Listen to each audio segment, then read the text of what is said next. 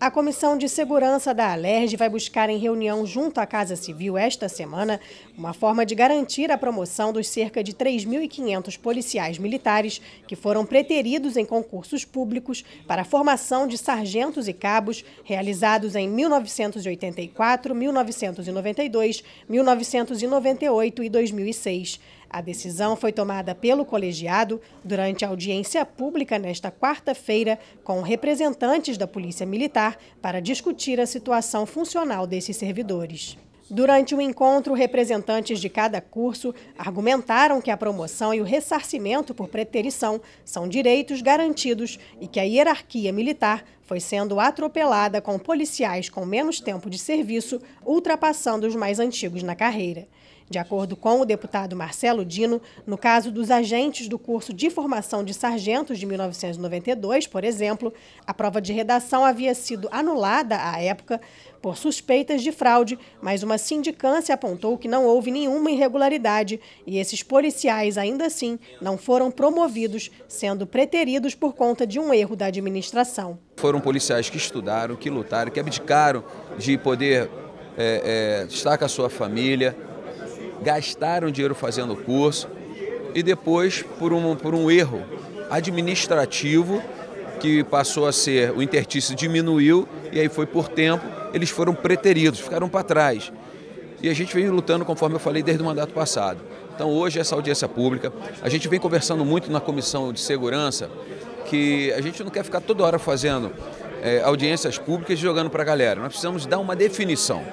Amanhã nós teremos uma reunião com a Casa Civil, o governador vai estar presente e é uma das pautas também que nós vamos levar. De acordo com o diretor de pessoal da Polícia Militar, toda busca por garantia de direitos é válida e a administração vai analisar caso a caso para levantar um estudo aprofundado e verificar o que pode ou não ser feito em relação à promoção desses praças.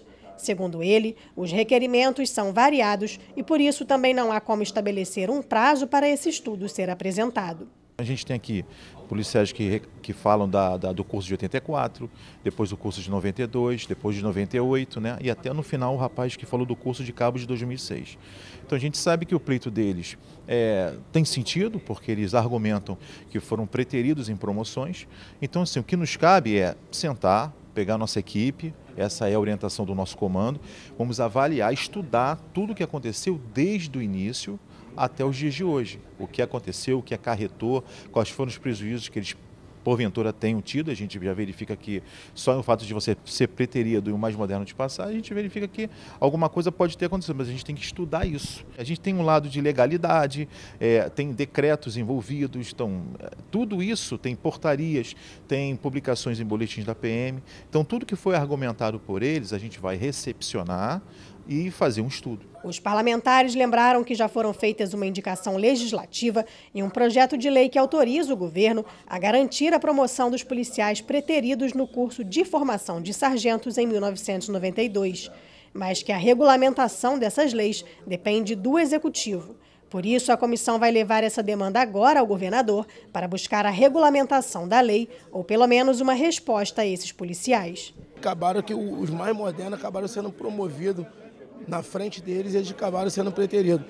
Então, tudo que foi, foi acumulado aqui, todas as provas que a gente conseguiu recolher aqui, nós vamos estar se reunindo com, com o executivo, que cabe o executivo resolver esse problema e como foi provado aqui, né, é direito deles. Só basta o executivo entender que tem que pegar e, e dar o direito deles adquirido. Então, a gente vai estar levando aqui através da comissão, não vai ser através de um gabinete de um deputado, vai ser através do, da comissão de segurança vai estar se reunindo com a Casa Civil, com o governador Cláudio Castro, para chegar a esse entendimento e devolver o direito deles que eles perderam. O deputado Marcelo Dino lembrou ainda que, independente do custo gerado ao orçamento do Estado, se é um direito do policial militar receber a promoção na carreira, ele deve ser garantido.